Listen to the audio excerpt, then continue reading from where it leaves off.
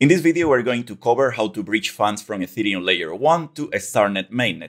We're going to cover two different ways to do this, one with Starkgate.io and one with Orbiter Finance. Please remember that this video is for educational purpose only and is not financial advice. So the first thing you need to do is going to starknet.io, the official StarkNet page, and here at the top menu you have Starkgate. So hit there. Here you have the terms of service that you should read. We've read them already, so we're going to scroll down and hit accept. And here you have another disclaimer before takeoff. Remember that Starkgate is an alpha, so you have here some technical limitations. Once you've read it, just hit close. This is the interface of the Starkgate bridge. You can see here that we're connected to the StarkNet mainnet, and you have here a disclaimer saying that StarkNet is in alpha, so expect delays. So you have here these options to deposit or withdraw. So the first thing you need to do is connect your wallets. We're gonna connect an Ethereum wallet, a MetaMask wallet in this case. Here we go, we're gonna hit connect, and connect. And now we need to connect a StarkNet compatible wallet. We have already covered the process of how to create new wallets for both Braavos and Argent in a previous video. You can find a link to it in the description below. For the sake of this tutorial, we're going to use Braavos.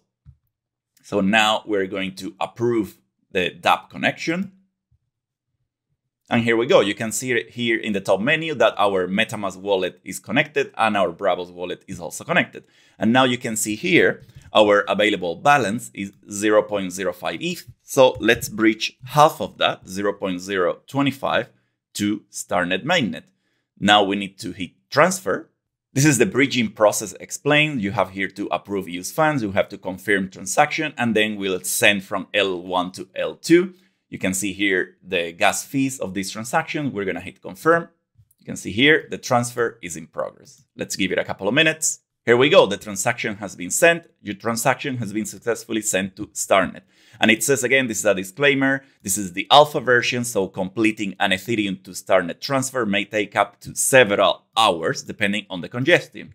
In the meantime, you can see your transaction has been broadcasted in Etherscan and Starkscan. Etherscan is an Ethereum network explorer. You can see here that from my wallet to this contract, which is the bridging contract of Starkgate, there's been a transaction. And if you go to Starkscan, you can see here that an L1 transaction has been broadcasted to the network. While we wait for our transaction to be bridged, let's explore a different way to bridge funds from Ethereum to StarkNet, and that is using Orbiter.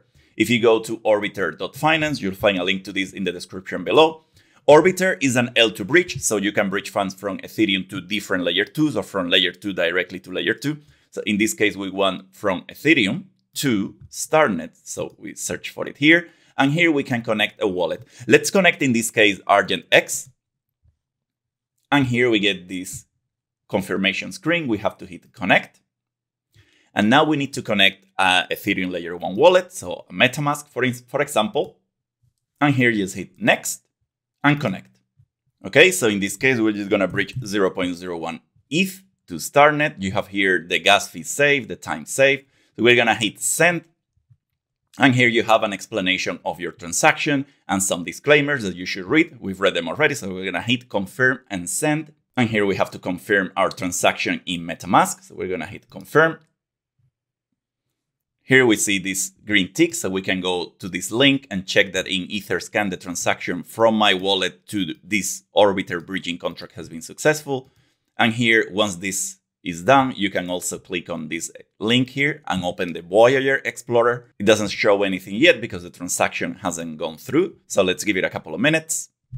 Here we go, we have green ticks. If we click now in this link, it opens a Starkscan and we can see here the transaction has been successfully broadcasted. If we go now to our Argent wallet, here we go. We have the 0.01 ETH that we just bridged.